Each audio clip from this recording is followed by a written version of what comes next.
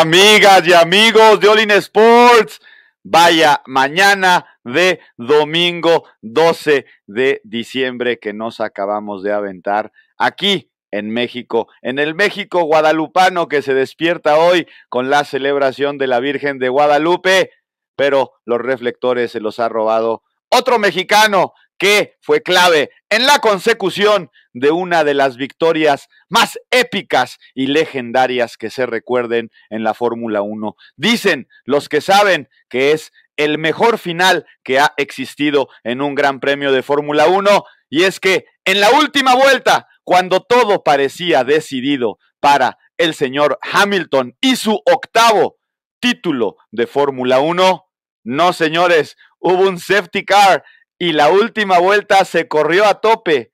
Max Verstappen cambia neumáticos y gana el título en la última vuelta cuando todo parecía ya definido para Hamilton, a pesar del excelente trabajo que realizó el mexicano Checo Pérez, quien desgraciadamente no termina en un podio que era de él, el coche se le rompe, el motor estaba a punto de explotar y el mismo Checo dice que por evitar otro safety car y para no crearle más problemas a Verstappen, deciden salir de la carrera, evitar un safety car, privarnos así de un podium que hubiera sido mágico para Checo en un año maravilloso, que por segundo año termina en cuarto lugar de la Fórmula 1.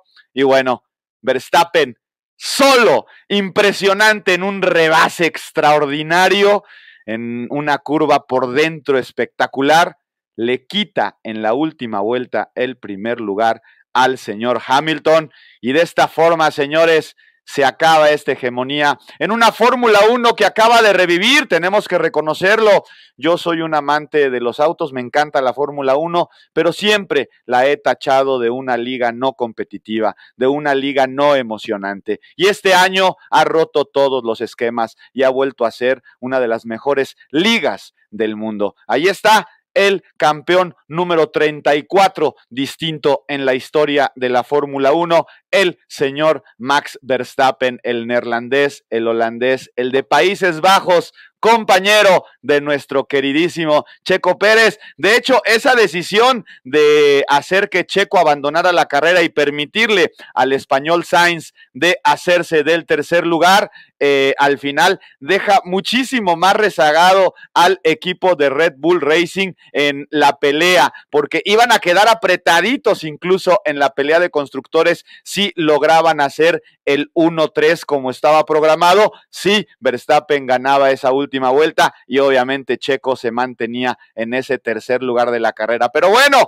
es una pena, es una lástima que Checo no haya podido concluir esta carrera. Sin embargo, yo decidí hacer este video más por Verstappen, más por la gran carrera que hemos vivido, lo especial que ha sido este año de la Fórmula 1, que por cierto estuvimos siguiendo muy, muy de cerca en nuestra fanpage de Facebook. Ahí estuvimos muy puntuales publicando información y hoy decidimos terminar con un video tras una final inolvidable, ¿no? Una carrera en Abu Dhabi espectacular que se estaba quedando corta, ¿eh? Porque al final Hamilton tiene una arrancada espectacular. Desde el primer momento le quita el primer lugar a Verstappen. Verstappen tenía neumáticos que no estaban tan bien. Tiene que parar antes y a partir de ahí viene una pelea muy ruda, muy este, ah, de esas peleas este complicadas, porque la verdad es que Hamilton ya tenía el triunfo. Pero no, señores.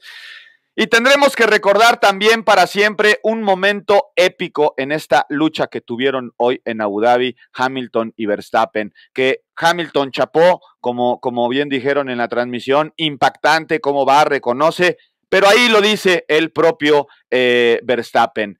Checo is a legend. Y por eso hemos decidido hacer este video, porque yo creo que en México no se le ha dado, y en general en Latinoamérica, no se le ha dado a Checo Pérez el nivel que tiene ya como una de las grandes glorias del deporte latinoamericano. Obviamente está Juan Manuel Fangio, que bueno, evidentemente con esos cinco títulos de mm, Fórmula 1 es evidentemente el más grande la historia de Latinoamérica, ¿no? Pero ya lo he hecho por Checo Pérez, eh, sobre todo estos dos años en los que con Red Bull ha terminado en cuarto lugar, es realmente importante, ¿no? Eh, yo creo que es momento, por lo menos en México, que ya se le dé a Checo Pérez ese lugar de grandísima, grandísima leyenda. Ya es justo, ya es justo que esté dentro de los grandes nombres del deporte mexicano, junto con los Hugo Sánchez, junto con los Fernando Valenzuela, junto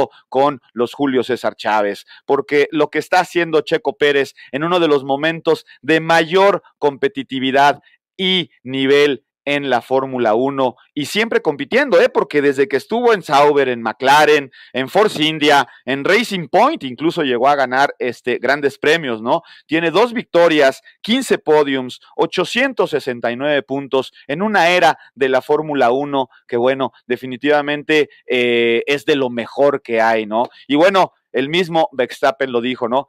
Es clave en mi victoria. El mexicano ha sido solidario, ha sido compañero, ha realizado un trabajo de equipo extraordinario y ahorita van a ver las imágenes de ese momento en el que Checo Pérez lidera la carrera, va en primer lugar. Eh, ¿Por qué? Porque decide imitar eh, Hamilton a Verstappen y salir a pits para cambiar a neumáticos eh, rudos y resulta que Checo se va al frente, se mantiene en la carrera con unos neumáticos muy malos. Yo creo que ese esfuerzo del coche al final es el que le cobra la factura y le cuesta el podium. Pero hace Checo Pérez una maniobra impactante cuando eh, Hamilton lo quiere rebasar. Ahorita vamos a ver aquí las imágenes. Eh, ahí está, ahí está cómo empezaba todo. Checo Pérez en primero, Hamilton en segundo, ¿no? Fue impresionante porque realmente le costó muchísimo trabajo a Hamilton rebasar a Checo, ¿no? Checo hizo una labor inmensa, le estuvo complicando, lo rebasaba, lo volvía a rebasar y son amigos porque se llevan muy, muy bien Hamilton y, y Checo Pérez, ¿no? Pero ahí ahí está la batalla que tuvieron y eso le permite a Verstappen recortar una distancia enorme que ya había tenido eh, cuando tuvo que cambiar rápido los neumáticos y la carrera se vuelve a poner parejísima. Luego se empiezan a distanciar otra vez, pero viene ese famoso safety car. Pero ahí queda esa historia de Checo Pérez, lo clave que ha sido. Yo sé que muchas veces uno espera siempre solo hablar de los primeros lugares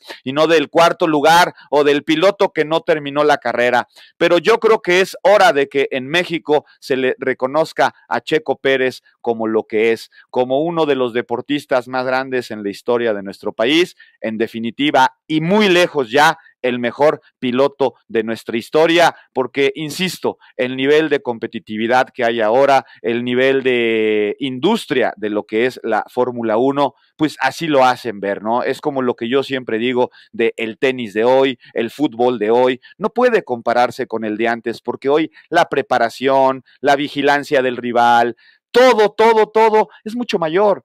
Entonces, bueno, vamos a ver, porque esto se pone realmente impresionante, ¿no? Es evidente que Checo Pérez va a tener Red Bull para rato, se ha ganado su asiento con muchísimo, muchísimo trabajo y buenos resultados, y el año que entra se va a poner extraordinario, ¿eh? Porque Red Bull obviamente va a tratar de repetir el título de Max Verstappen, ¿por qué no pensar que Checo Pérez de pronto se puede meter en esa pelea? Ahí vemos con este Hamilton eh, en una foto antigua, no es de hoy, pero pues son amigos, son cuates, ¿no? Y lo que hoy le hizo, pues miren que, híjole, vaya, vaya que se le entrometió y ayudó a su compañero el mexicano, ¿no? En fin, ha sido una historia maravillosa, extraordinaria. Checo Pérez es uno de esos atletas mágicos porque han trabajado calladitos, tranquilos, sin hacer mucho ruido. Y mire dónde está. Está en la cúspide, está compitiendo en el más alto nivel competitivo que puede haber en el automovilismo. Ya vimos lo que pasó en el último Gran Premio en la Ciudad de México. Este, en definitiva, el boom que está viviendo hoy el automovilismo a nivel mundial, en mucho también se debe a pilotos como Checo Pérez. Obviamente, obviamente Hamilton roba, roba reflectores con esos siete títulos. Vamos a ver, ¿no? Vamos a ver si Checo y Max Verstappen le permiten llegar a ese octavo título como campeón del mundo y separarse del gran Schumacher. Yo, la única carrera que he tenido la oportunidad de ver en mi vida fue en Mónaco eh, y la ganó Schumacher. Después no he podido ir nunca más a una carrera de Fórmula 1, sí, de muchas otras cosas, indicar, de otros seriales, pero espero algún día volver pronto a la Fórmula 1 porque hay que ver a Checo Pérez algún día. Ahí está, ahí está con su antigua eh, escudería con Racing Point cuando ganó aquel podium maravilloso donde se fundió, porque pues la verdad vino desde el último lugar, lo recuerdan, fue, fue, fue épico. Es un piloto extraordinario, hay que reconocerlo, hay que aplaudirlo. Los mexicanos nos tenemos que sentir sumamente orgullosos por Sergio Checo Pérez, un piloto extraordinario que hoy fue clave en el título de Max Verstappen, el primer neerlandés en ganar el título en la Fórmula 1. Así, así de importante fue Checo para un equipo Red Bull que confía en él y hoy tiene pagado con creces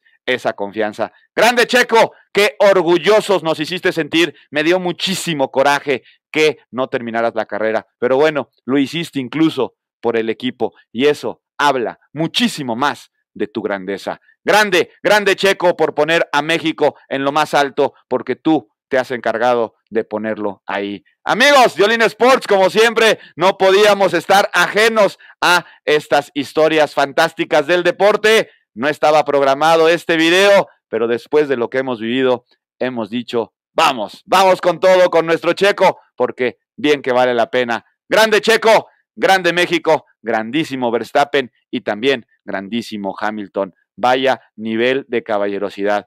Fue impresionante lo que hoy hemos vivido y creo que la Fórmula 1 a partir de hoy puede vivir una nueva realidad. Ojalá se mantenga, ojalá sea una liga competitiva donde podamos tener no solo este año el mejor final en la historia, porque es la primera vez ¿eh? que un campeonato del mundo se decide en la última vuelta y con un rebase de los involucrados en la pelea del título del mundo. Es la primera vez que sucede en la historia y eso ya, yo creo, hace a esta temporada 2021 de la Fórmula 1, como muchos especialistas dicen, la mejor de la historia. Ojalá sea el repunte de la Fórmula 1 para que vuelva a ser uno de los deportes más importantes del mundo. Cuídense mucho, les mando un fuerte abrazo. Recuerden, All in Sports es tu mejor jugada para apostar. Nos vemos la próxima.